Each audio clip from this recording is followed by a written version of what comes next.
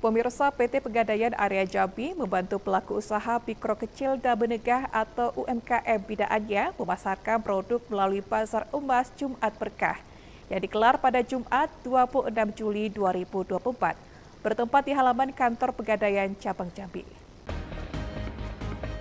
PT Pegadaian Area Jambi menggelar event Bazar Emas Jumat Berkah pada event ini, Pegadaian juga menggandeng para UMKM binaannya untuk membuka stand serta memasarkan produk.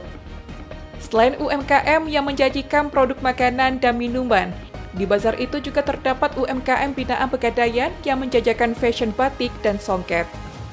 Pelaku UMKM ini juga menjadi nasabah Pegadaian Jambi. Selain memberikan pembiayaan, Pegadaian juga membina UMKM yang menjadi nasabah dan membantu pelaku usaha mengembangkan usahanya. Salah satunya UMKM Omera Floral, yang merupakan UKM yang bergerak pada bidang handicraft. Yeni Noviana mengaku bangga selama satu tahun belakangan ini menjadi UKM binaan Pegadaian. Selain kerap menjadikan wadah untuk membantu memasarkan produk, Pegadaian juga rutin melakukan monitoring dan memberikan berbagai pelatihan guna mengembangkan usaha.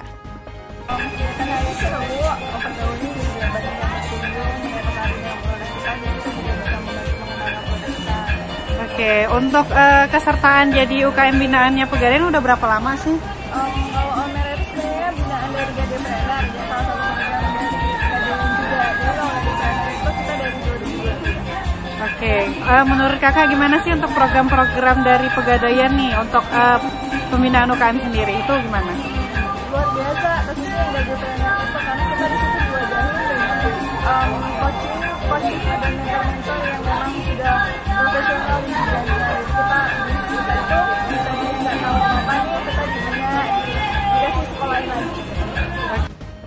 dengan melibatkan UMKM binaan ini diharapkan dapat membantu pelaku usaha dalam memasarkan produknya sehingga dapat meningkatkan penjualan.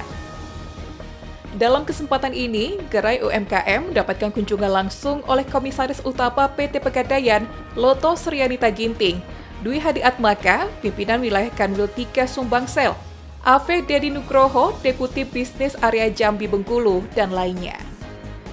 Lina Liska, Cek TV, melaporkan.